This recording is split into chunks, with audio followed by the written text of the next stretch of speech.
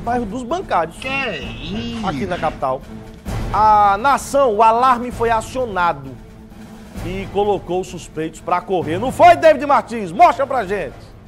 Bancário, Zona Sul de João Pessoa, é a principal avenida aqui do bairro. Estou aqui ao lado do aspirante Vitor Lira. Explica para nós o que vocês conseguiram constatar aí sobre o que houve aqui. Chegamos ao local, constatamos aí essa quantidade espessa, quantidade vasta de fumaça e esperamos baixar né, essa, essa fumaça aí para progredir com, com segurança aí dentro da a localidade da agência bancária.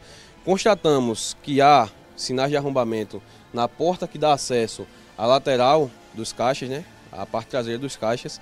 Os, os indivíduos, os acusados, eles deixaram inclusive um instrumento que foi utilizado, que foi a picareta, e agora aí é um trabalho da Polícia Judiciária, né, pegar essas informações e juntar com as imagens das câmeras para tentar chegar aos autores, né, o, do, da ação delituosa.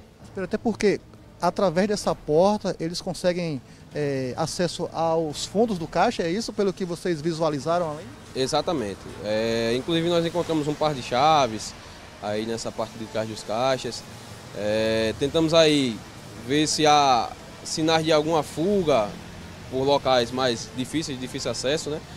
Inclusive por cima do, do, do forro do banco, mas não nos reparamos com os indivíduos, a gente acha que eles se evadiram assim que o alarme foi acionado, a fumaça foi acionada e não, não já falamos mais com eles no, na localidade. Temendo a chegada de vocês, que foi rápida, né? Exato, a chegada foi rápida, fomos acionados por volta das 5 horas aqui via rádio, as guarnições se reuniram, como é uma ocorrência assim que a gente sabe que há uma certa complexidade, né? Nessa Normalmente são criminosos bem armados, né? Isso, exato. A gente já vem pensando nessa, nessa situação, né? Vimos, vimos separados para nos reparar com eles aí, mas sempre o princípio é a segurança.